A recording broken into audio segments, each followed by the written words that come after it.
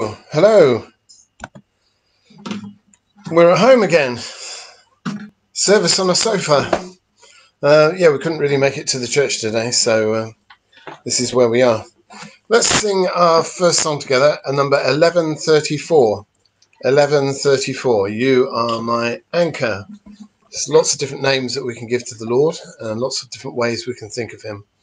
But uh, this song is telling us that He keeps us safe and he holds us in the same place rather than have us drifting around all over the place. So uh, here is number 1134.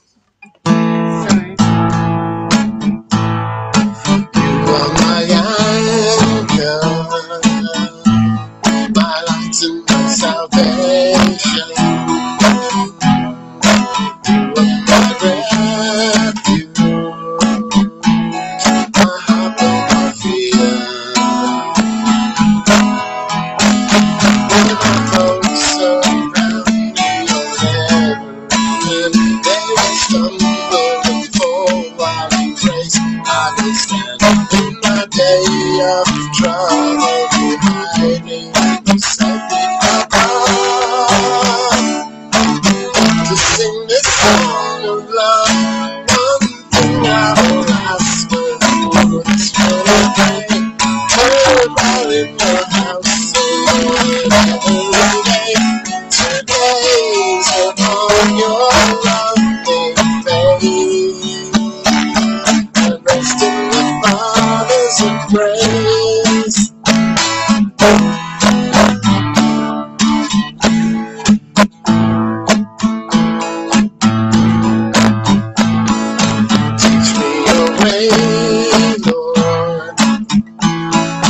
Well,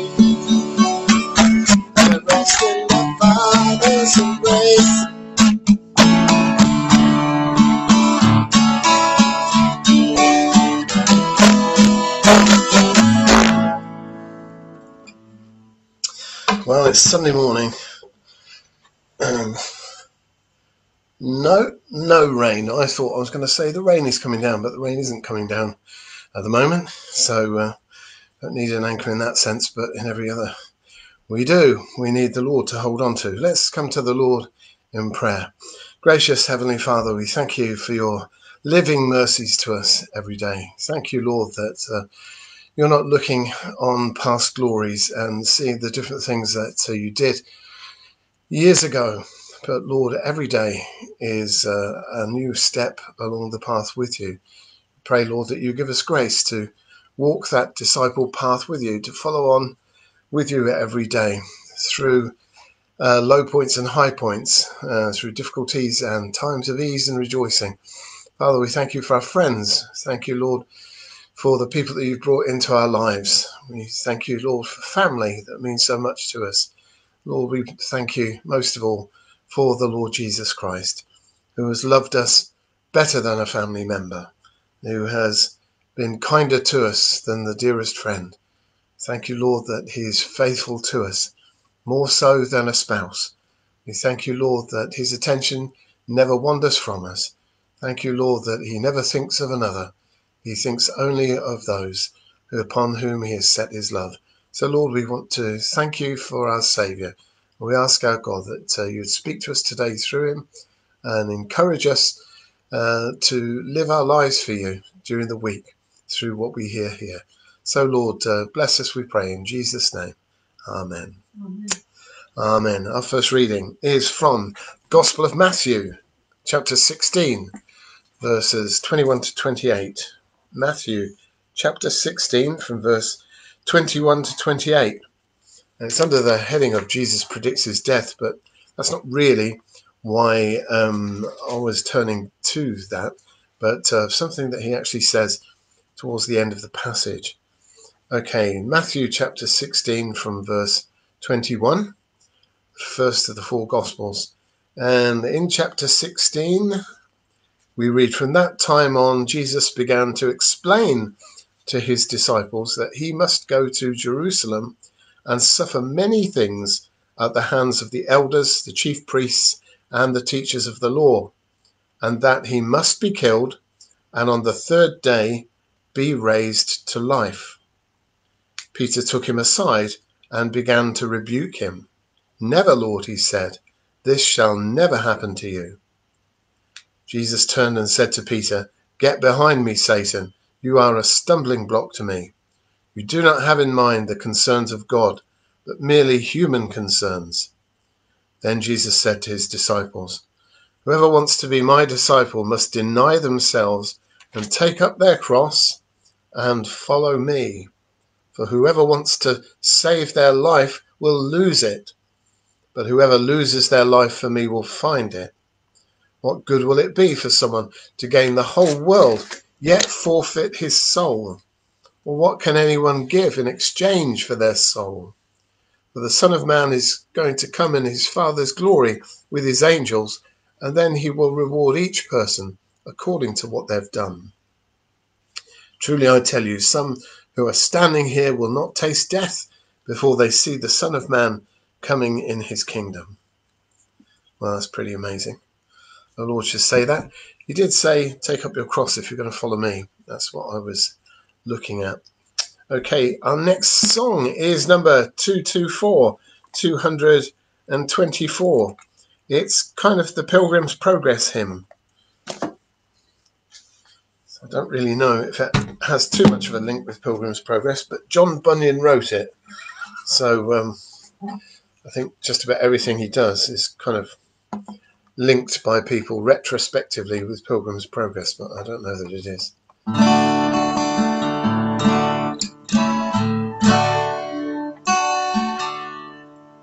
Think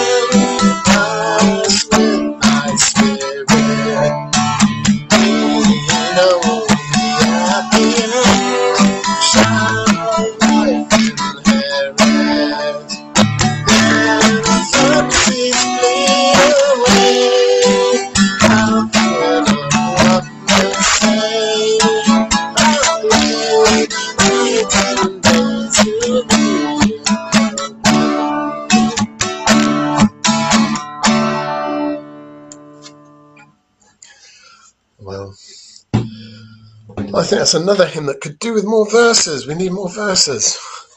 We're just singing it, just getting into it. it stops.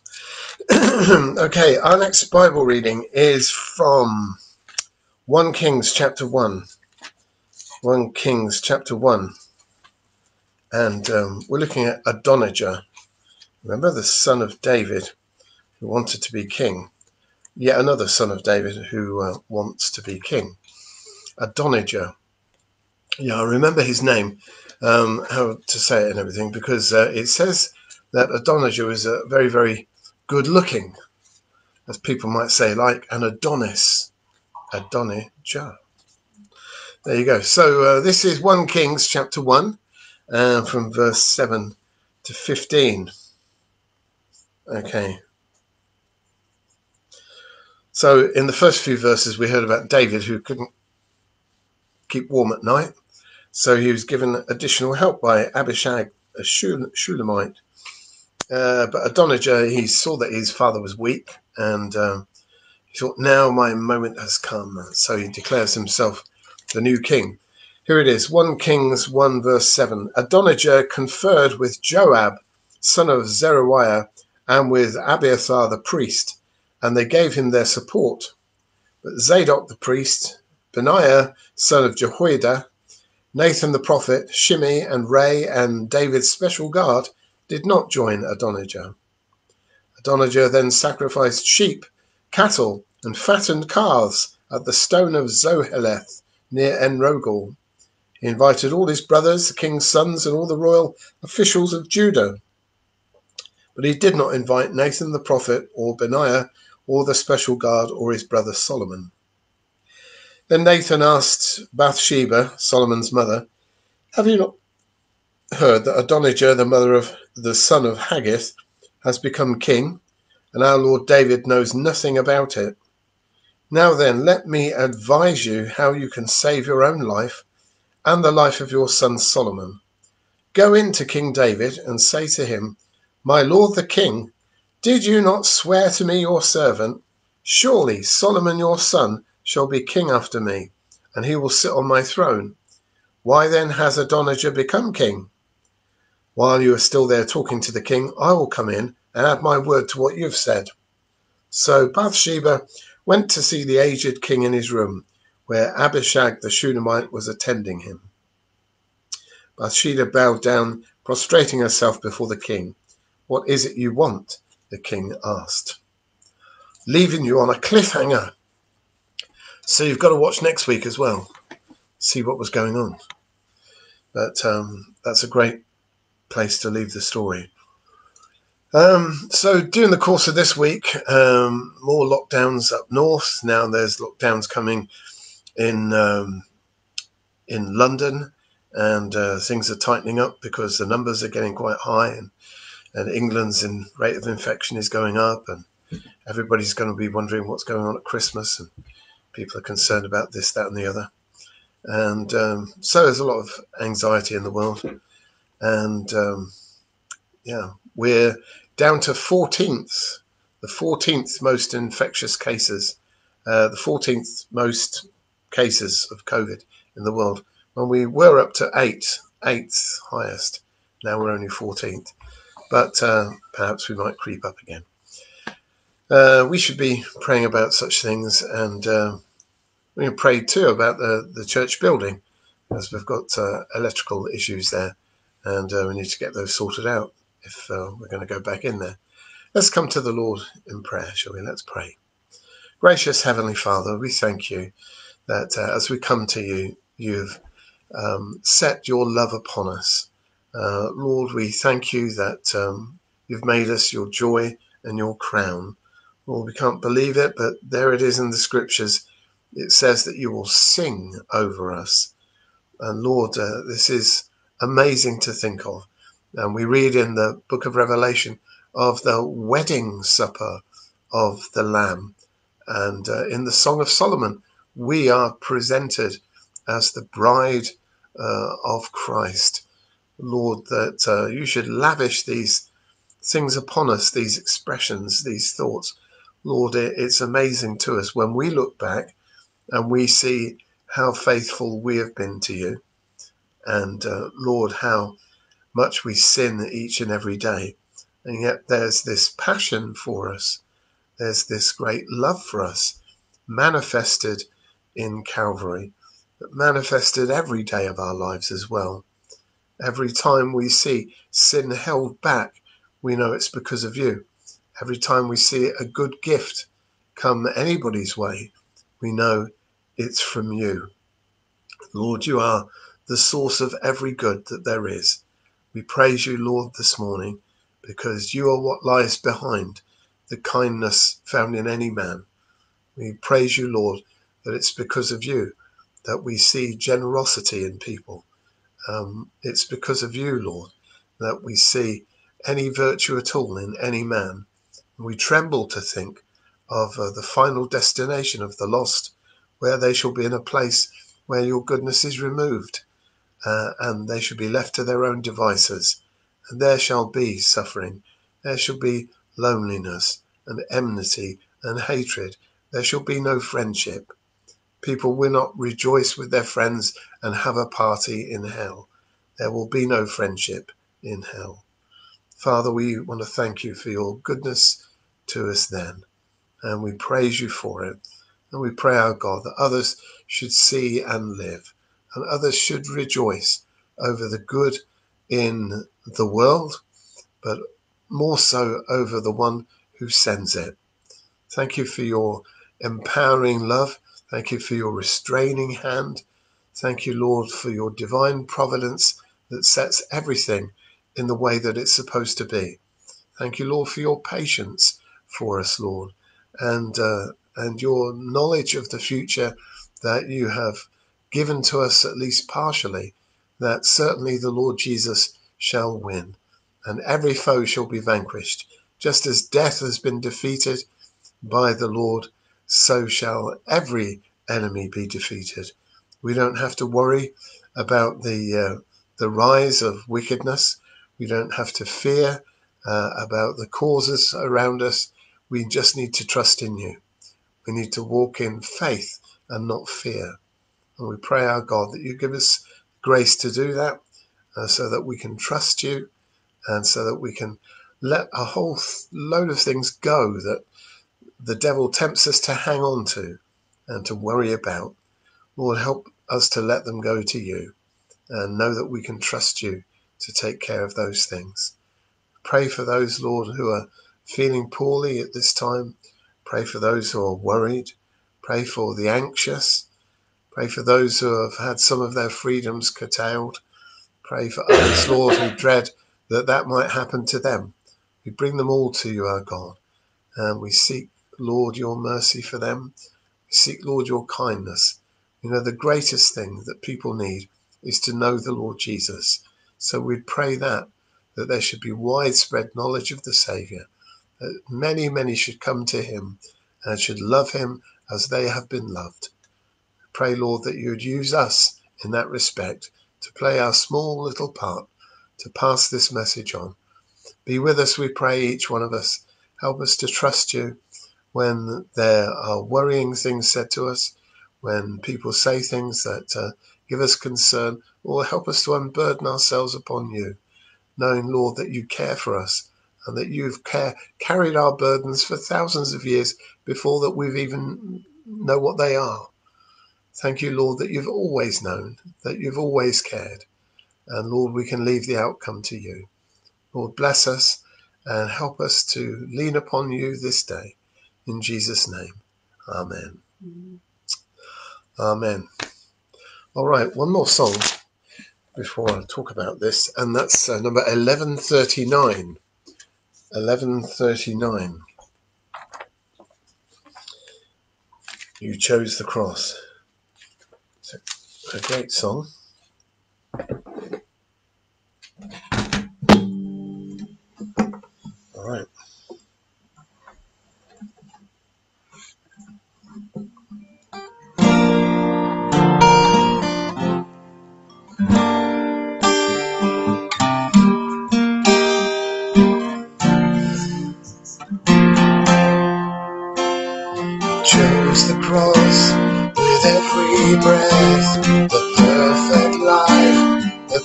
Perfect death. the cross. Crown of thorns you wore for us and crowned us with eternal life. You chose the cross.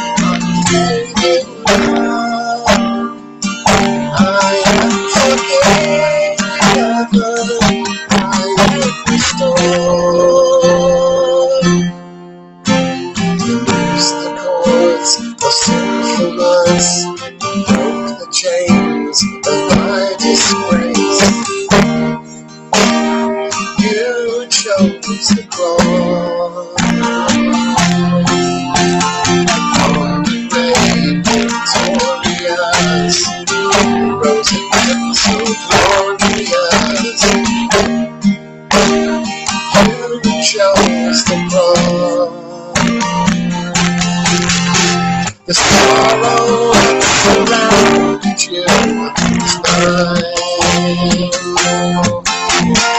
not my will, but yours be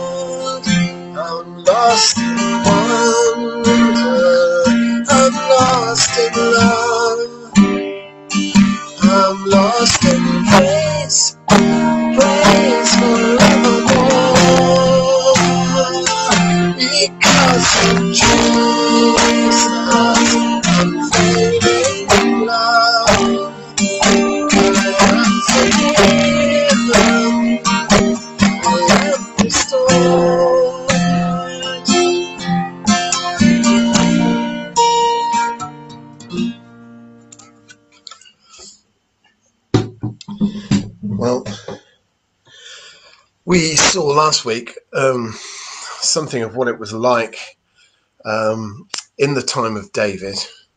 Um, things were not the same as they are today. An attractive girl could be pressed ganged into keeping the king warm at night and maybe try and spark some life into him as well. Not every girl's first choice.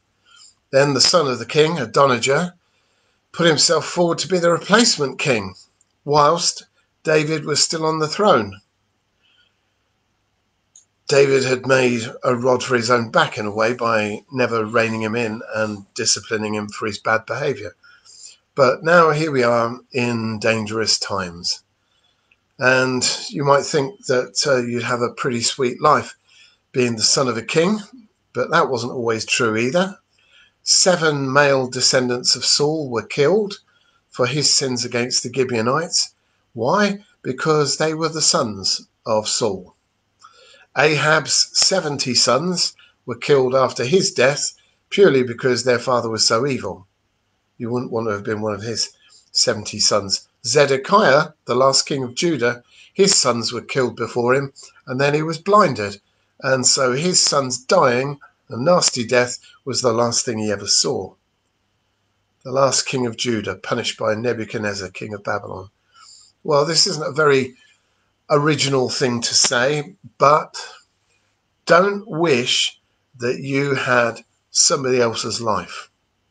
You can be sure that they have better health than you, maybe at the time, or more money than you, or maybe more friends than you, but you don't know what comes with all that. You don't know what it means to have all those things, the whole life that that person has. Happiness isn't about simply what you have or what you achieve. Look at the famous 27 Club. Uh, people speak often about this. Brian Jones from the Rolling Stones, Jimi Hendrix, Janis Joplin, Jim Morrison, Kurt Cobain, Robert Johnson, Amy Winehouse, and Jade Goody. All of them died when they were 27, and you might have thought that they all had something going for them, and you might feel like you have nothing. But don't try and walk in the shoes of other people because you might not like the direction, the direction that those shoes are traveling in. Today, we're going to find out a bit more about Prince Adonijah. Uh, people can say that you can find out a lot about somebody by the friends that they have. Um, Proverbs 13 13 says, Walk with the wise and become wise. Um, for a companion of fools suffers harm. Well, you know, that's quite similar to what I was saying. And you expect to see a foolish person who makes all his friends fools. Um, you expect to see a wise person whose friends are all very bright and sharp. Adonijah knew he wasn't ever going to become king just on his own. He needed sponsorship. Sponsorship is a great idea. Um, attendees of AA have sponsors, people who take them under their wing and try to make sure they're okay and don't slip up uh, back into addiction again. Football clubs have support uh, sponsorships. Uh, the biggest sponsorship deal in the world right now is with Real Madrid and their deal with Adidas. Uh, they get 950 million pounds over 10 years, with 70 million pounds a year for their names on their foot, their name on, on their football strip. Do you know what? If Adidas wanted to print their name on my shirt, I think I'd let them do it for 70 million. Adidas, are you watching? Adonijah was looking for sponsors um, or endorsements from people to give his claim to the throne credibility. And uh, you can see on here just the people that he picked. And uh, there we are in verse 7. Adonijah confirmed with, conferred with Joab, son of Zeruiah, and with Abiathar the priest, and he gave him their support. Um, when he was looking for support, he was going to have to be quite careful because he needed people who had a lot of credibility with other people and who might be motivated to back this new unknown horse. But also, he didn't really want to have people who are going to be um, stirred up to oppose him, actually doing more harm than good. So he picked quite wisely, as we shall see. He picked Joab and Abiathar. Joab was, as we're told here, the son of Zeruiah. Zer- Zeruiah. Well, that was David's sister, anyway. So actually, he is the nephew of David. Joab was not the most godly of men. He was a bloodthirsty soldier through and through, and he believed strongly in getting the job done. That's uh, actually relevant to one or two of the other people we're going to be thinking of in a minute as well. But uh, Joab believed strongly in getting the job done, whatever it cost the other person. Uh-huh. David made Joab the general of his army. He was overall in charge of all the army of David. But when Abner, who was a cousin of Saul, so he's kind of descended from the wrong line there, a former commander of Saul's army, um, when Abner killed one of Joab's two brothers, Joab killed him in cold blood, and David was not happy because Joab there is killing kind of royalty, you know, somebody in the, the Saul royal family. But Joab did that purely out of revenge to get the job done, no matter what the cost to somebody else. Joab helped David organize the death of Uriah the Hittite, who was Bathsheba's husband. David was um, David committed adultery with Bathsheba to cover it up. He killed the husband. Joab helped him do it because Again, it gets the job done. despite the cost to anybody else. Um, the time came when Absalom, uh, the son of David, rebelled against David. David gave explicit instructions to keep Absalom alive when they chased after him and caught him. Whether or not that was a wise thing or not, Joab wasn't listening, and so he uh, speared Absalom to death when he was hanging by his, his, He was caught up in a tree, and he put a spear in, and the other soldiers did as well.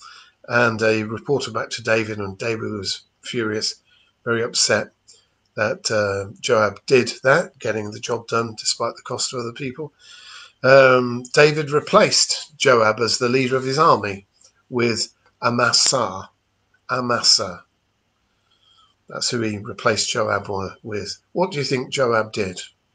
Joab killed Amasa and got his old job back because that's the way that you do things. You do them when they uh, they cost other people things, but not yourself. That's Joab. So you can depend on him to get the job done, but you don't want to look too much at the morality of the way that he did things. Now, the other person he chose to help him, old Adonijah, he uh, he asked Abiathar the priest. Abiathar was the great great grandson of Eli the prophet, which is quite something. That's quite a lineage he's got there. Um, he was, Abiathar was the only priest to escape from Saul's massacre of the priests at Nob in 1 Samuel 22. As such, he must have seemed like a very godly man because he's got that history behind him. He's got that preparedness to stand up against Saul behind him. Uh, surely he's got a lot going for him. Um, certainly he was trusted by David. Uh, 1 Chronicles 27 33 to 34 says, Ahithophel was the king's counselor. Hushai the Archite was the king's confidant. Ahithophel was succeeded by Jehoiada, son of Benaiah, and by Abiathar, which means that David had Ahithophel to be his counselor Ahithophel, it didn't really work out with him, and so he was replaced by uh, Jehoiada and by Abiathar. Abiathar became one of the king's counselors. So that's one of the most trusted positions you could have, that he had the king's ear. He was much more than just a priest, he was a counselor to the king. And he came to David when he was in the cave of Adullam, when he was hiding from Saul, and he served him faithfully ever after. And uh, so that was good. So quite a shock, really, when we think of uh, Abiathar being one of the guys that um, uh, Adonijah would turn to. Now, I'll be speaking about Zadok in a minute because he's in the, the next list. But actually, Abiathar and Zadok were mentioned several times in their joint service, even though they end up on different lists, as we shall see. Uh, 2 Samuel 15 24. Zadok was there too, and all the Levites who were with him were carrying the ark of the covenant of God. They set down the ark of God, and Abiathar offered sacrifices until all the people had finished leaving the city. Two of them working in tandem. Um, 2 Samuel 15 29. So Zadok and Abiathar took the ark of God back to Jerusalem and stayed there. 2 Samuel 15 35. Won't the priests Zadok and Abiathar be there with you? Tell them anything you hear in the king's palace, we read. And 2 Samuel 20, verse 25. Excuse me. Sheva was secretary, Zadok and Abiathar were priests. So they're, they're mentioned in the same breath, uh, quite often, the two of them. And it's sad, really, to see in the context of this passage in 1 Kings 1, the two of them set against each other, backing different horses a pretty impressive couple, um, Joab and Abiathar. A soldier who stops at nothing, a man of violence, but's uh, respected or feared by all, and a priest known by his association with David and uh, prominent in the worship of the Nathan, nation. So people are going to look at those two and say, well, you know, he's got some uh, significant support there. Uh, the leader of the army and one of the leaders of the priests but I look at those two and I'm filled with sadness as I, I trust you are as well.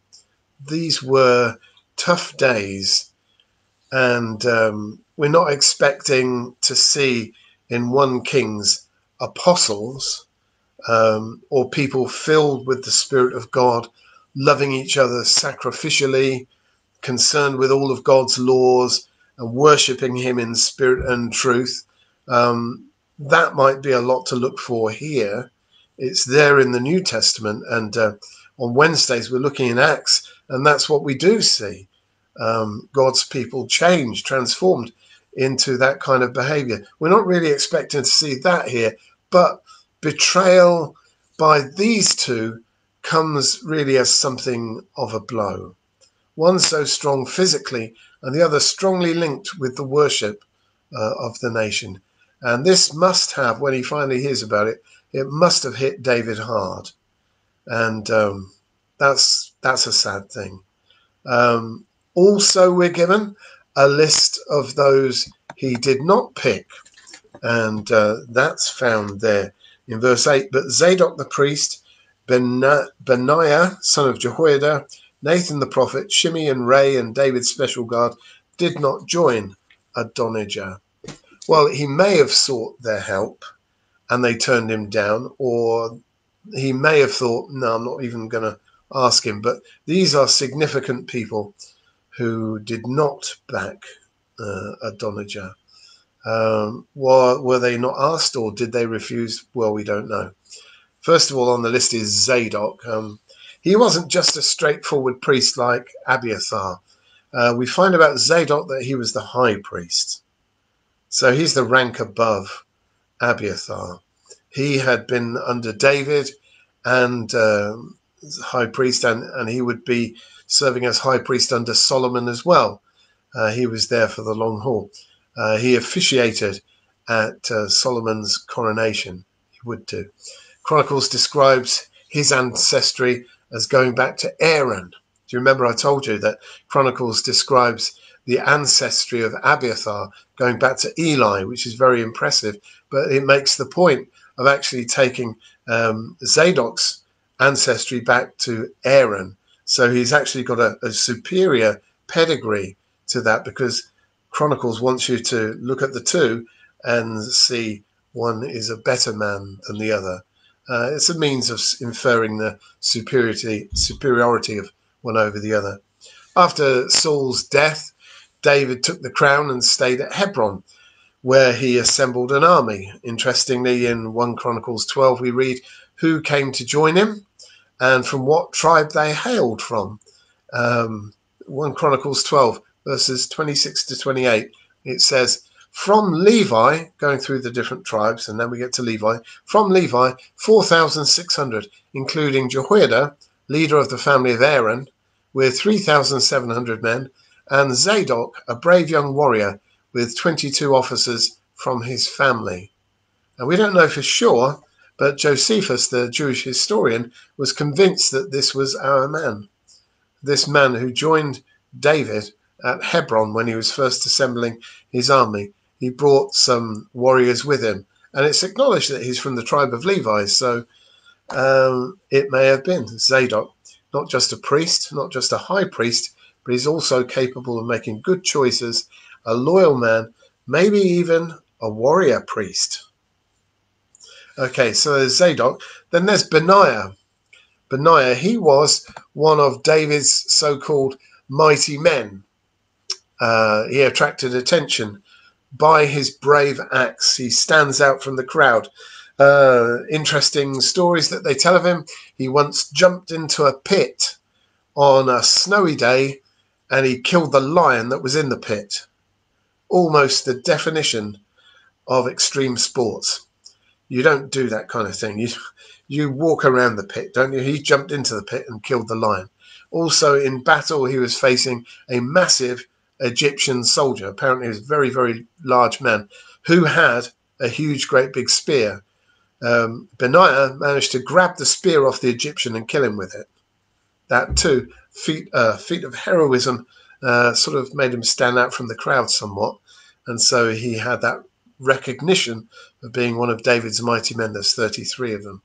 He put him in charge over his guard, and uh, he was a soldier through and through, not a greatly sophisticated man. He was responsible by the end of the whole big long story. He was responsible for the death of Adonijah and Joab and Shimei, who we've yet to mention. There's Benaiah for you. Tough man. Nathan is up next. He's mentioned on the list as well. He's a very capable man, being responsible for court records apart from anything else. 1 Chronicles 29 29. As for the events of King David's reign, from beginning to end, they are written in the records of Samuel the seer, the records of Nathan the prophet, and the records of Gad the seer. So, with uh, Gad and uh, Samuel, he kept court records of the events of King David's reign.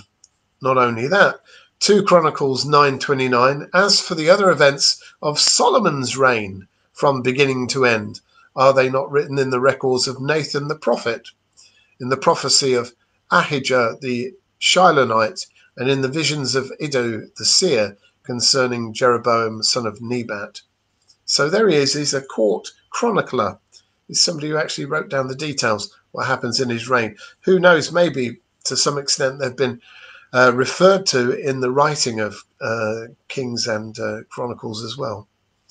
Nathan, an able man, kept records, also contributed to the worship of that day in 2 Chronicles 29 25. He stationed the Levites in the temple of the Lord with cymbals, harps, and lyres in the way prescribed by David and Gad the king's seer and Nathan the prophet. This was commanded by the Lord through his prophets. So he was actually, via prophecy, instrumental in some of the music that was going on in worship as well. Creative man, isn't he? So he's doing all of that. But apart from that, Nathan is um, perhaps known best for his prophetic uh, words. He was the one whom David spoke to when David said, You know, here I am living in this fine house, and uh, God's ark is out there in a tent. I should do something about that. Nathan told him that God didn't want him to build the temple, that his son would. Kind of a tough message, really, for Nathan to deliver there, because David didn't really want to hear that. He wanted to do something big, but he was told he wasn't to do that. Also, it was Nathan the prophet who told David his secret sin with Bathsheba was known to God and that he must repent. Ah, that must have been a tough one to deliver as well. Uh, sometimes, you know, you're called upon to say difficult things on behalf of the Lord, but uh, not often as difficult as that. That's a, a real tough one. Um, Nathan, God's prophet, almost the definition of reliability very reliable man, very capable man, and he would do what the Lord wanted at whatever the cost to himself. It's kind of like Joab, uh, in that Joab would do anything to promote himself, only Nathan would do anything to promote God. So Nathan's sort of like the polar opposite, really, of, uh, of Joab. Shimei uh, appears on the list this is somebody else that uh, uh, Adonijah didn't bother going to. Shimei, we're not too sure who this might have been. Uh, the name uh, is said that it might have been a different form of the name of one of David's brothers. He could have been a brother of David, maybe one of the mighty men. We're not absolutely sure because we don't strictly. There's there's a few people called Shimei, but this particular guy, we're not really sure exactly who he is. Rei, R E I, Ray. we don't have any even any suggestions um, regarded uh, regarding a corrupted name here. We have literally no idea who Rei uh, was, but he was significant enough at the time to have been mentioned. Well, you know what? Adonijah didn't look for Shimei's support. He didn't look for Rei's support. That's strange, isn't it? Well, we don't even know who they are. That's a, a reminder to us, isn't it? That um, Today's famous person is tomorrow's who was that? Uh, it mentions David's special guard. Uh, these are his special forces. Um, we've seen already that they're under the command of Benaiah, uh, but uh, they remained loyal to the king. perhaps as, as you would expect. What a bunch of people.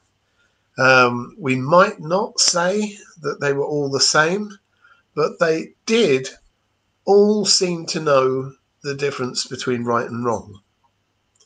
At that time, that was what mattered, especially to David. A priest, a soldier, and a prophet, a couple of less well known people, and the guard that were closest to the king. I wonder if this reminds you at all of the mixed company of men Jesus selected to be with him through his ministry. He made what looked like some very strange choices, yet the men seemed to gel together and they got the job done.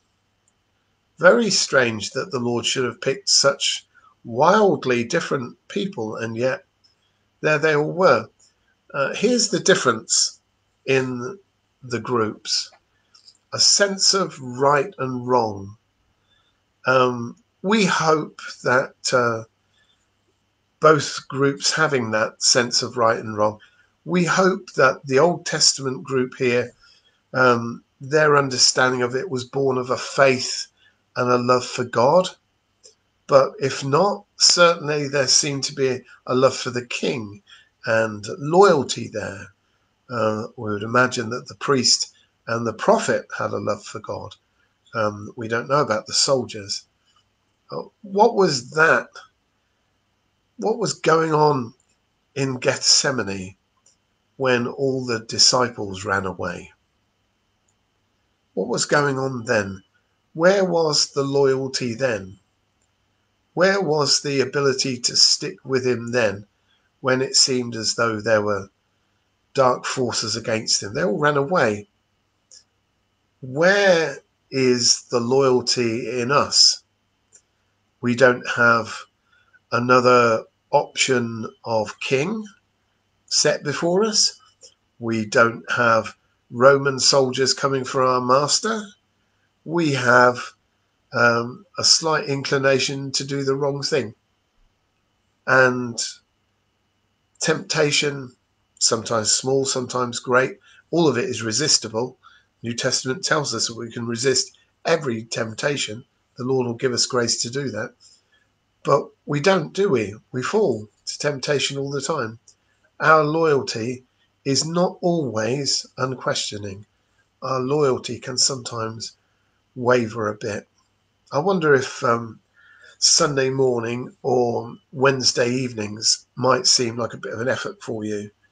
Uh, maybe a bit much to come out, uh, but do we all take the steps that we can take to make the most of the experience of worship? Would we benefit if we're watching the service by sitting in a more comfortable chair so we don't jiffle about a lot? Or would it be better for us if we sat in a less comfortable chair and don't fall asleep?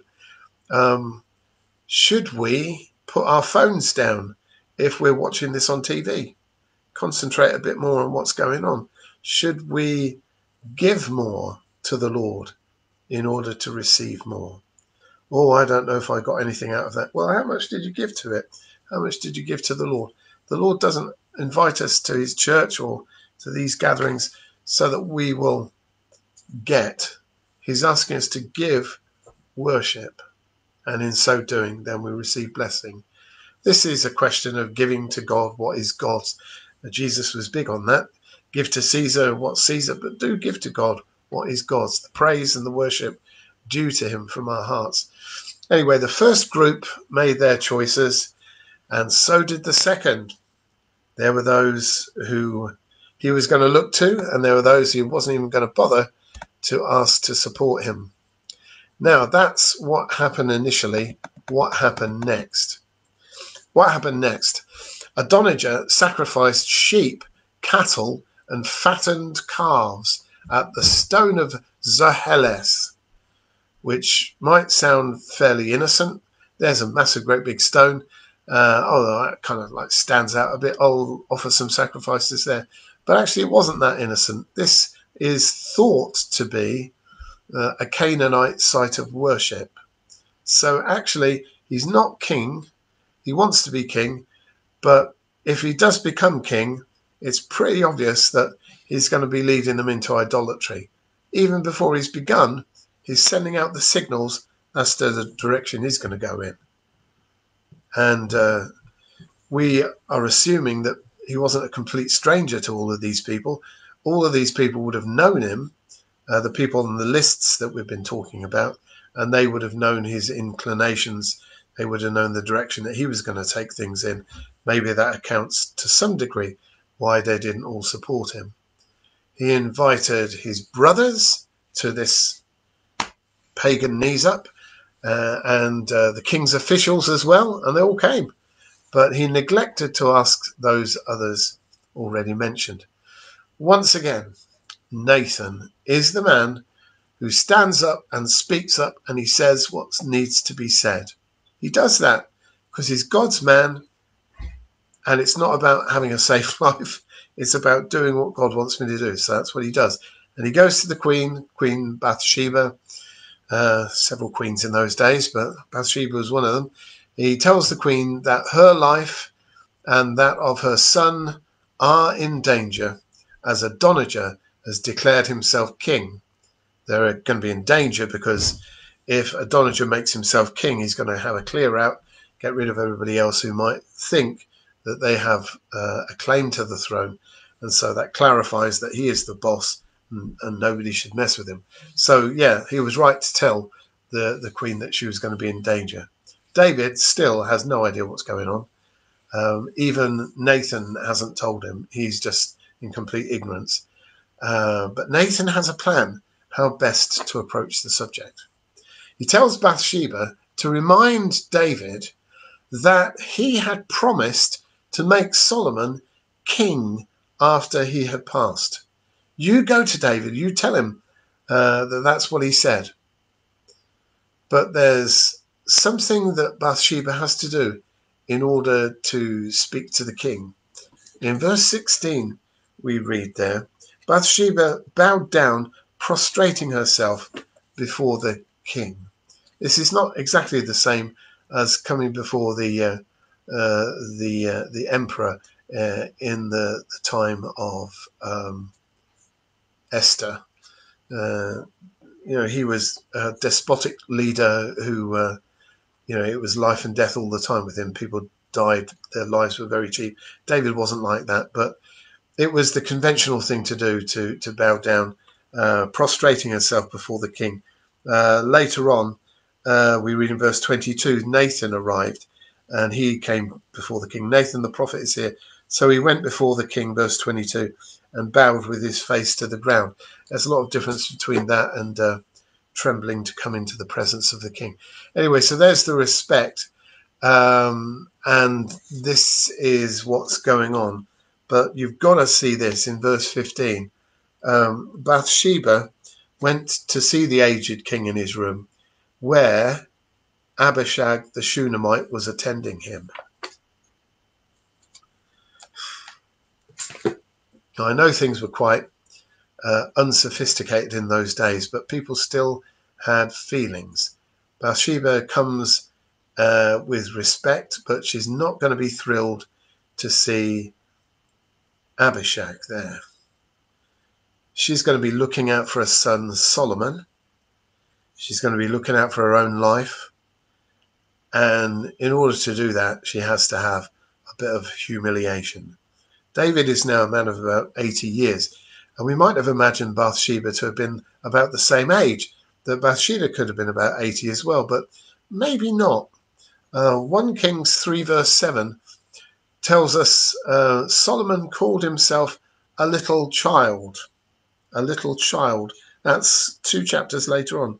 He calls himself a little child, no doubt in modesty, but he must have felt himself relatively young to the others in his position. One extra biblical authority, something that's not in the Bible but from history, said he was 12 when he came to the throne. And we might say Bathsheba, if that was the case, might have been maybe in her 50s. Uh, David there about 80, Bathsheba maybe in her 50s.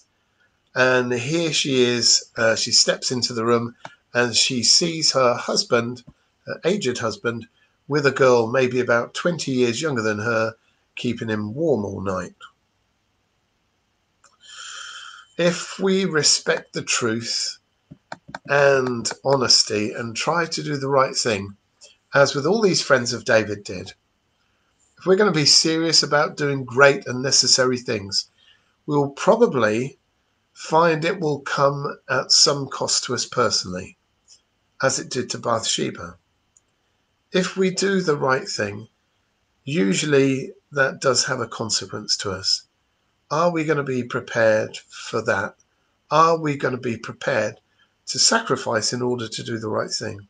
In Mark 10, Jesus told the rich young ruler, Jesus looked at him, loved him, and said to him, You lack one thing. Go sell all that you have and give to the poor, and you will have treasure in heaven, and come follow me.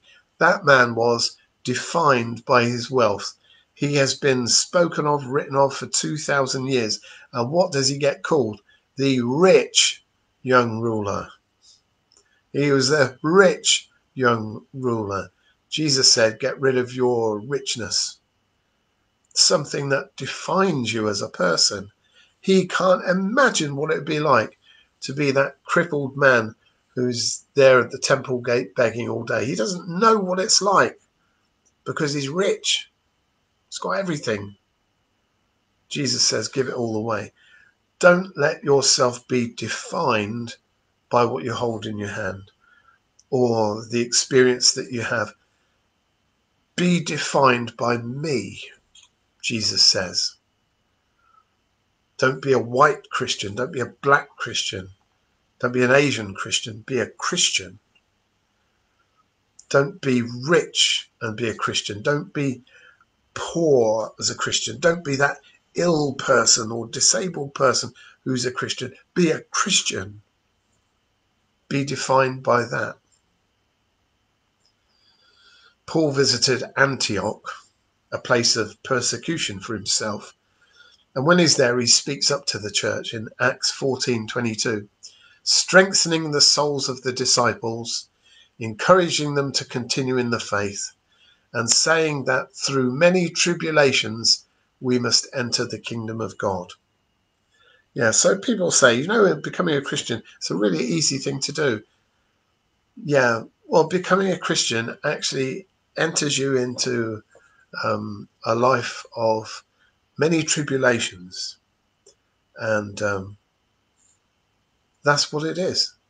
Uh, I read to you that uh, strange reading from Matthew at the beginning of it all because it had the verse in it that um, is often quoted on this subject that we need to take up our cross and follow him.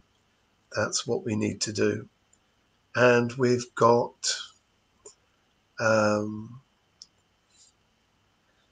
we've got some people who are prepared to do that in the story, and other people who were looking out for themselves.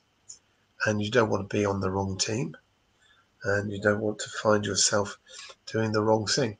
May God help us to follow after Him, to walk in obedience, even if it's costly to us.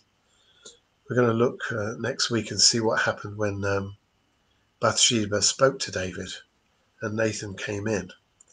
We'll see what happened there. Well, may the Lord help us to see and understand those things. We're going to sing a hymn that relates to that now. Number 319. Number 319.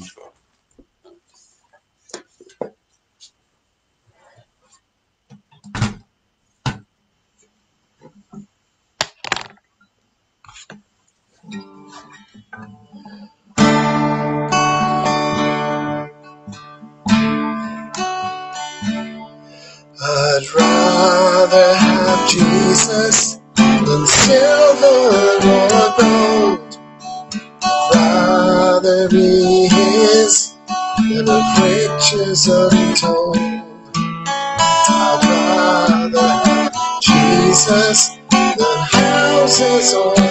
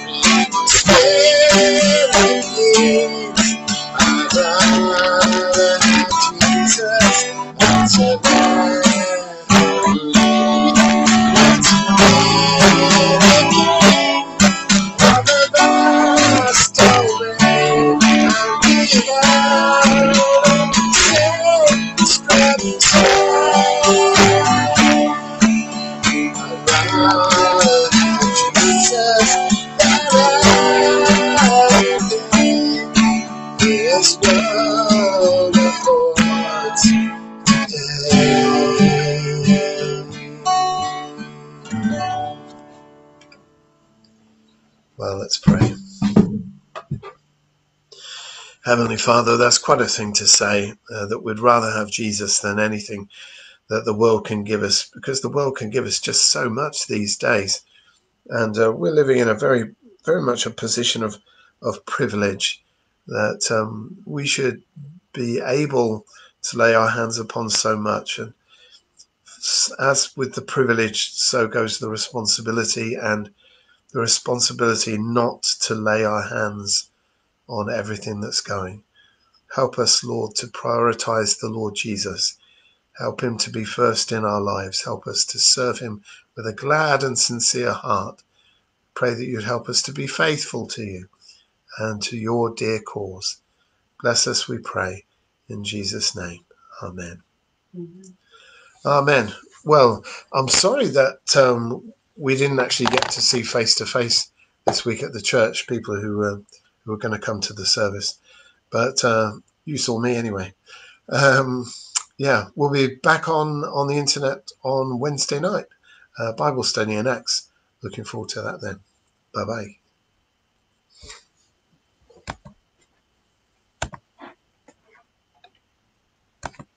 Hello.